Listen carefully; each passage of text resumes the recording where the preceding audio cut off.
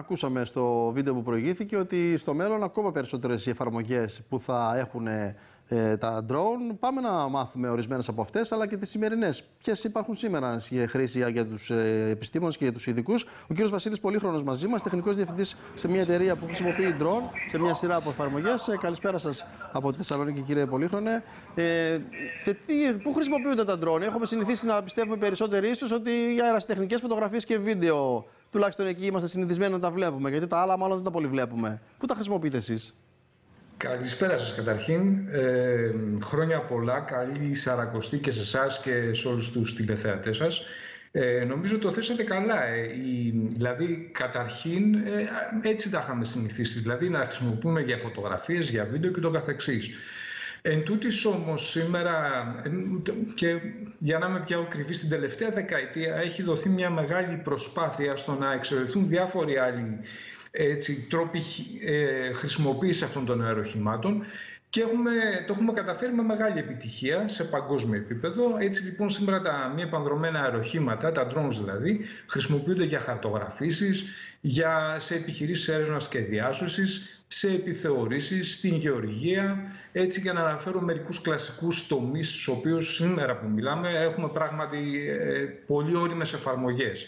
Και φυσικά από εκεί και πέρα αντιλαμβάνεστε ότι η τεχνολογική εξέλιξη θα δώσει περισσότερες δυνατότητες όπως ε, συστήματα FEE τα οποία θα μπορούν να βλέπουν και να παίρνουν αποφάσεις στη στιγμή που πετούν και όχι να μεταφέρουν μια εικόνα ψυχρά πίσω σε έναν παρατηρητή και να παίρνει αυτός τις αποφάσεις ε, αυξάνοντας έτσι δραματικά την παραγωγικότητα αλλά και την αποτελεσματικότητα αυτών των συστημάτων είτε αφορά σε έργα επιθεώρησης, είτε στη γεωργία, είτε σε οτιδήποτε ψάχνουμε να βρούμε εκεί έξω και θέλουμε να κάνουμε τη ζωή μας πιο εύκολη και πιο γρήγορη. Στη γεωργία συγκεκριμένα, ε, πείτε μας μερικές έτσι εφαρμογές που μπορούμε να έχουμε την ε, χρήση των drone. Θα σας δώσω ένα πολύ πρακτικό παράδειγμα για να το καταλάβετε. Σκεφτείτε ένα συνεταιρισμό ο οποίος έχει 6-7 χιλιάδες στρέμματα γης και σκεφτείτε την ανάγκη το να βρίσκονται οι παραγωγοί στους αγρούς.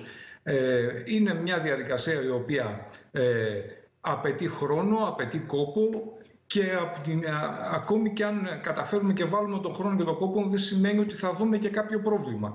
Εδώ τα drones έρχονται και μέσα σε ελάχιστο χρόνο, δηλαδή τα 6-7 χιλιάδες στρέμματα θα μπορούσαν να ήταν 2-3 ώρες στον αέρα, να αποτυπώσουν όλη την περιοχή, να κάνουν την αποτύπωση όχι μόνο στο ρατό, αλλά και σε μήκη κύματο τα οποία σχετίζονται με την ευρωστία των φυτών. Έτσι ώστε μέσα σε 3-4 ώρες να έχω μια εικόνα σε αυτά τα 6.000 στρέμματα το τι πάει στραβά ή τέλος πάντων τι συμβαίνει εκεί πέρα.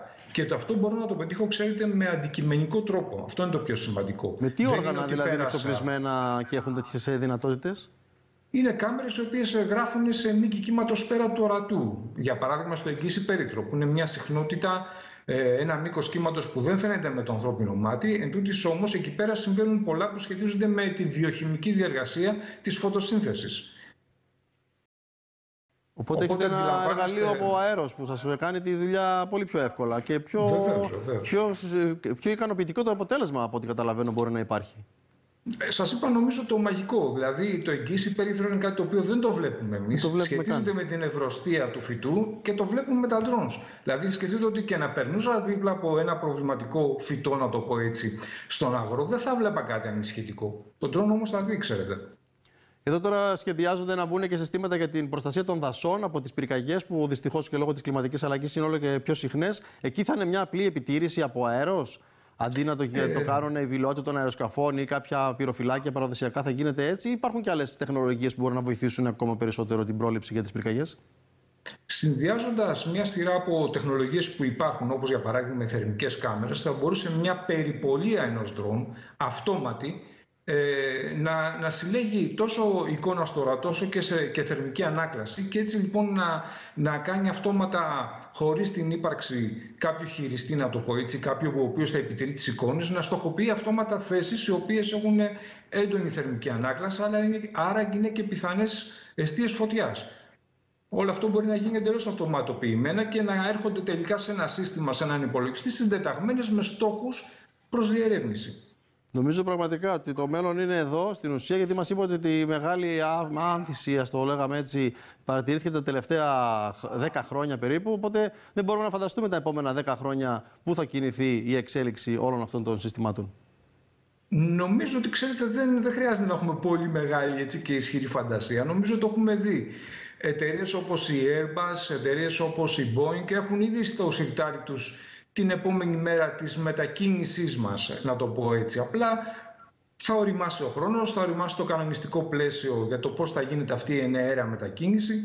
Εταιρείες όπως η DHL, όπως η Amazon ε, Για τις έχουν ήδη στα ταχυμεταφορές. σιρτάρια τους. Ακριβώς. Δεμάτων, Συστήματα- δέματα που θα έρχονται στο σπίτι μας με τον drone. Μάλιστα, κύριε Πολύχρονε, Ακριβώς. ευχαριστούμε πάρα πολύ για όλες τις πληροφορίες. Έτσι, είδαμε κάτι από το κοντινό μέλλον. Είδαμε το μέλλον στην ουσία μέσα από αυτή την κουβέντα. Ευχαριστούμε και πάλι για τις πληροφορίες. Σας χαιρετούμε. Ευχαριστούμε για τη συμμετοχή σας στην εκπομπή.